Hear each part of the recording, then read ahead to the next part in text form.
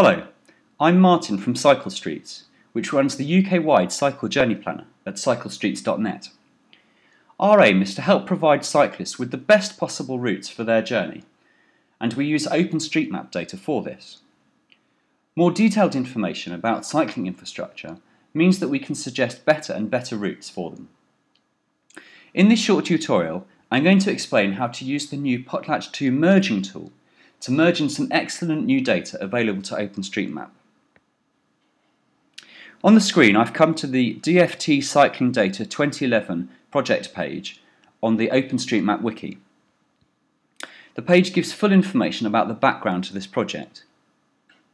But near the top is a link where we can view and later edit the data that's been made available.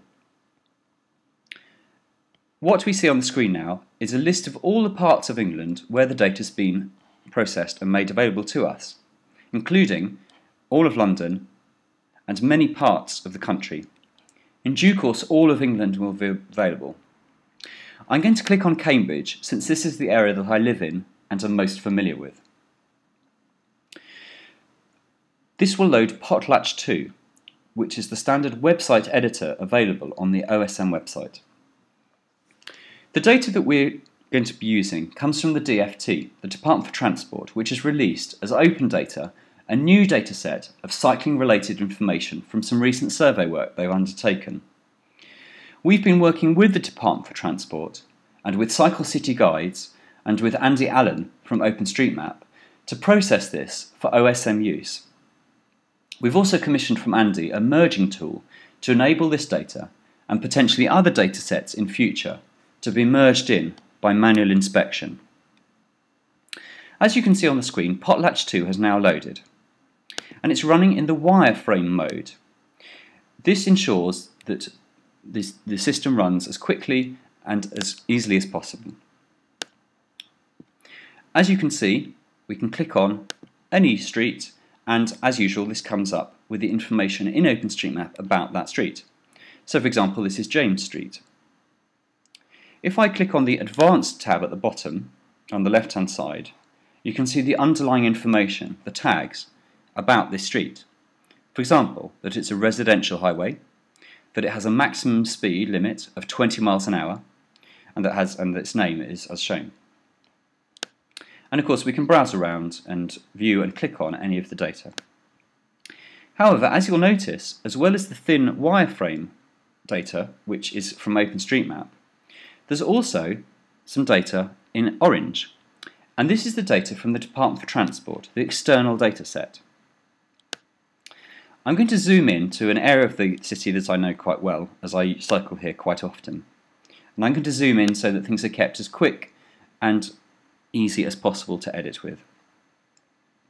So on the screen you can see the DFT data, which is represented by the orange lines, and if I click on one, you can see the underlying data for that. So for example, this bit of data shows that the spot of a bridge and that there's a cycleway with an estimated width of 2.5 metres, which is quite wide by British standards, and that it's lit and that it has a paved surface. If I now instead carefully click on the OpenStreetMap line, the thinner one, which is in the same location, you can see that by contrast it currently has less information, less detailed information. So what would be excellent is if we can merge in this external data into the OSM dataset. And the new merging tool makes this easy. So firstly, simply click on the orange line, the external data from the DFT, and, and this is the crucial step, holding down on your keyboard the control key, or if you're using a Macintosh, the command key, and then very carefully click on the OSM line.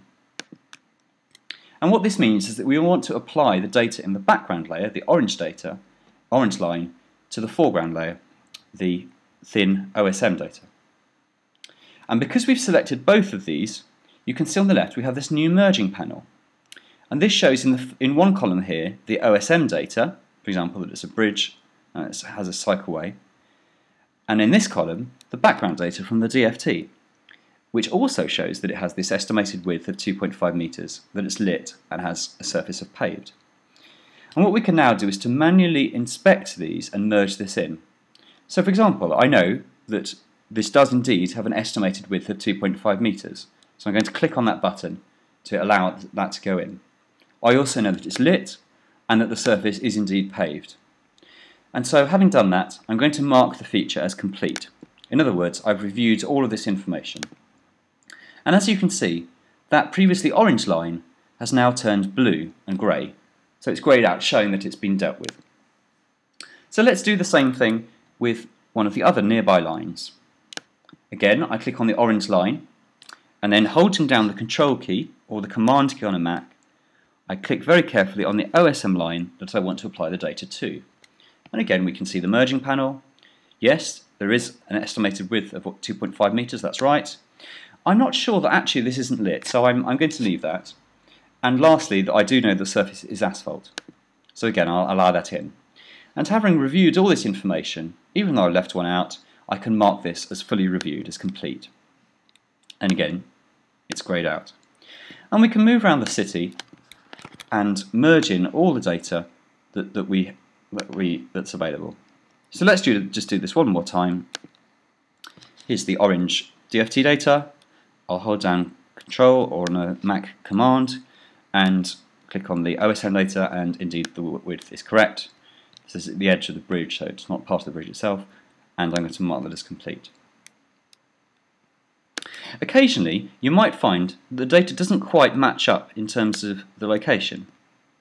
So for example, if this line here had actually meant to be applied to this line here, I can do exactly the same as I've done before. I can hold down the control key and instead of selecting the line that's over it, I can select a different OSM line and that allows me to apply the data to a nearby line. When I've made all the changes, I can use the Save in the top left corner in the normal way. We very much encourage cyclists to go around their city and to merge in this data. And if we go back to the wiki page, you can see there's a link where we can check the progress of each area. So if I click on Cambridge, which is the dataset that I've just been using, and scroll down, you can see that it shows me of the 1,417 ways of information that 9% of these have been assessed. In other words, I've marked them as complete, I've reviewed them. We very much encourage cyclists and other OpenStreetMap contributors to merge in this data. It will mean that cycle streets and any other routing engine that implements these more advanced attributes, such as cycle lane widths, can take a more considered opinion on whether this infrastructure is useful for cycling. It will also mean that these attributes become more commonly supported in, in all kinds of OSM products, improving the quality of OSM data more generally. If you have any questions, please do contact us via the contact page on the Cycle Streets website, um, and we very much hope that you will merge in this data and enjoy doing so. Thank you very much.